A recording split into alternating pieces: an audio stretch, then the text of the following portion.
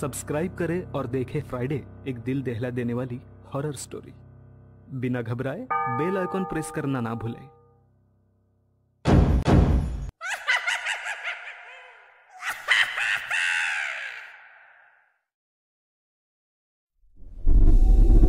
इस कहानी के लेखक हैं संजय कामले।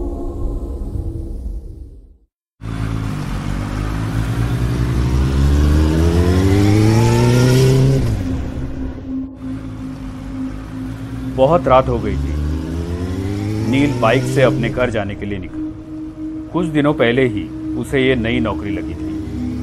कभी डे शिफ्ट कभी नाइट शिफ्ट करके वो बहुत थक जाता था।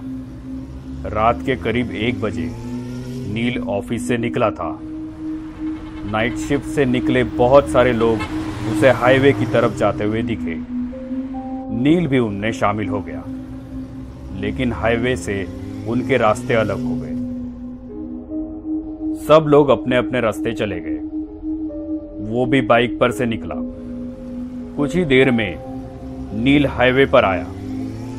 रात बहुत हो गई थी, इसलिए ट्रैफ़िक भी बहुत कम था। उसे अपने स्पीड में बिल्कुल कंट्रोल नहीं था। कभी कभार ही उसे सामने से कोई कार आती दिखती या फिर ओवरटेक करती थी।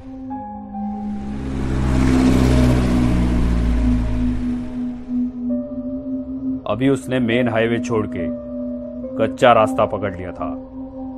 वो रास्ता और भी सुनसान था। अभी बाइक के हेडलाइट में सिर्फ़ काला रास्ता दिख रहा था। बिल्कुल एक काले सांप की तरह। रात के अंधेरे में वो सन्नाटा बिल्कुल खौफनाक लग रहा था। लेकिन कोई चारा भी तो नहीं था। नौकरी चाहिए तो शिफ्ट में काम करना ही पड़ता है। वो अपने ही धुन में गाड़ी चला रहा था। रास्ता सुनसान होने के कारण नील रास्ते के बीच से गाड़ी चला रहा था। कुछ ही देर में उसका अकेलापन दूर हो गया। उसे पीछे से आती हुई गाड़ी का हॉर्न सुनाई दिया। उसने उस गाड़ी को साइड दी। कुछ ही समय में एक कपल बाइक पर से उसे ओवरटेक करके चला गया। शायद वो पति पत्नी थे।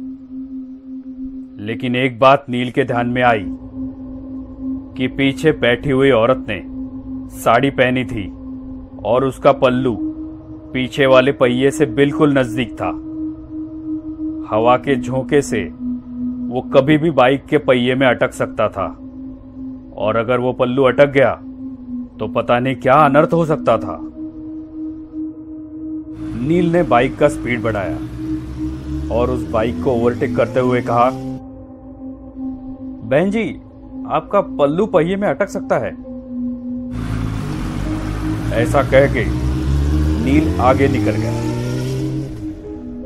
नील के मन को एक राहत मिली कि मैंने किसी की मदद की, क्योंकि आजकल ऐसे वीडियोस कितने सोशल मीडिया पे आते रहते हैं कि एक लड़की बाइक पे बैठी है और उसका पल्लू बाइक के पहिए में अटक गया। दोनों गिर गए और जख्मी हो गए। ये सोच में नील था कि अचानक वही बाइक वाला फिर से निकल के आगे चला गया। लेकिन ये क्या? उसकी बीवी कहाँ गई? वो वहाँ नहीं थी। कहाँ गई होगी? नील ने गाड़ी का स्पीड बढ़ाया और उसे पूछा, भाई साहब, आपके पीछे बैठी हुई आपकी पत्नी कहाँ गई? उनका पल्लू बाइक के पहिए में अटकने वाला था। तो मैंने उनको बताया था। उस बाइक वाले ने अपनी बाइक साइड में लगाई। वैसे नील ने भी अपनी बाइक उसके साइड में लगाई। नील ने कहा, क्या हुआ भाई साहब? आपकी बीवी कहाँ है? वो पीछे ही तो बैठी थी ना। उस बाइक वाले का पूरा शरीर डर के मारे कपकपाने लगा। उसने कुछ नहीं कहा। सिर्फ़ अपनी डर भरी आँखों से पीछे मुड़ के देखा। तो वो रास्ता और भी डरावना लग रहा था।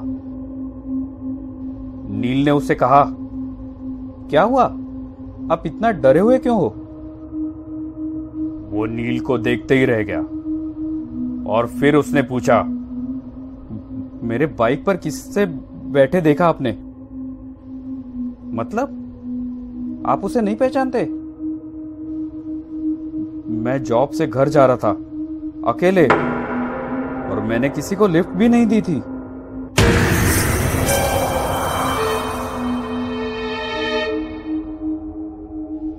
उसकी बातें सुन के नील के रोंगटे खड़े हो गए।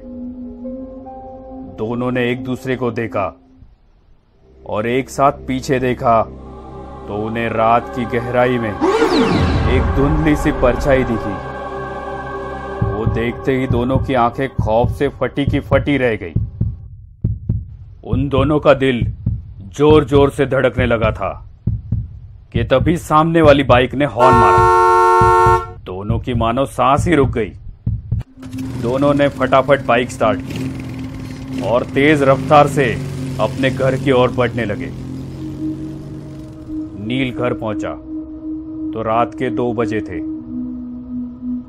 वो अपने बिस्तर पे लेटा। लेकिन उसे नींद नहीं आ रही थी। अपने पूरे करियर में उसने ये चीज़ पहली बार ही देखी थी। रह रह के उसके मन में एक ही ख्याल आ रहा था। क्या मैंने जो देखा वो सच था? कितनी बार वो वही रास्ते से गुजरा था। लेकिन आज तक उसे ऐसा खौफनाक अनुभव नहीं हुआ था। बाइक पे बैठी वो औरत, उसकी लाल साड़ी, कैसे मुमकिन है ये? लेकिन ये अनुभव एकदम असली था।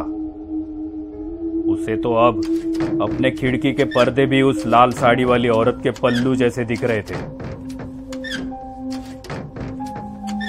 ऐसे लग रहा था कि बार बार कोई उसका नाम पुकार रहा है।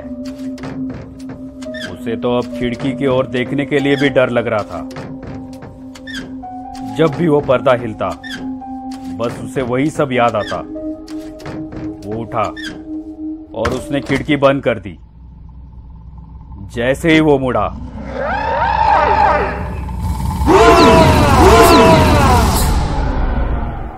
उस औरत ने नील के ऊपर छलांग लगाई। नील डर के मारे चिल्लाने लगा। देखा तो वो सपना था।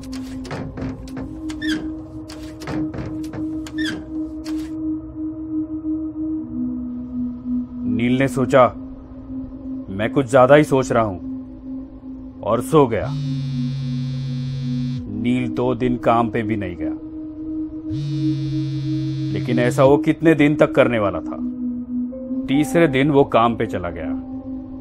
लेकिन उसका ध्यान काम में नहीं था। बार बार वो घड़ी देख रहा था। साढ़े बारह बज गए। शिफ्ट खत्म हो गई। वो अपने बाइक पे बैठा। लेकिन उसके पैर कांपने लगे थे। सोच सोच में वो कब हाईवे से निकल के कच्चे रास्ते पे आया, ये उसे पता ही नहीं चला। अब उसे ज़्यादा डर लगने लगा था। उसे सब याद आने लगा कि पीछे से एक गाड़ी का हॉर्न सुनाई दिया। नील के रोंगटे खड़े हुए। क्या वो औरत फिर से उस आदमी के पीछे बैठी हुई होगी?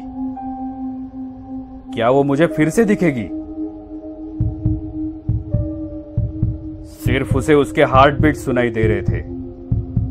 शरीर पूरा पसीना पसीना हो गया था। दूसरी बाइक आगे जाने की कोशिश करने लगी। नील ने सोचा, मैं उसके पीछे देखूँगा ही नहीं। लेकिन आखिर उसने पीछे देख ही लिया। तो उसके पीछे कोई नहीं था। नील ने एक राहत भरी सांस ली। उसकी जान में जान आ गई। कलेजे का डर अब खत्म हो गया था। नील ने बाइक वाले की ओर देखा और थोड़ा स्माइल किया। तो उस बाइक वाले ने अपने हेलमेट की कांच ऊपर की और बोला, बहन जी से कहिए, उनका पल्लू पहिए में अटक सकता है।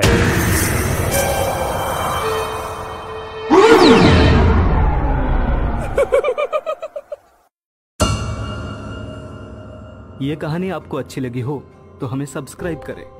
हमारा इंस्टाग्राम और फेसबुक पेज ज़रूर फॉलो करें। अगर आपके पास ऐसी ही कोई कहानी हो तो हमें कमेंट बॉक्स में भेजें। हम कोशिश करेंगे कि अगली एनिमेटेड स्टोरी आपकी होगी।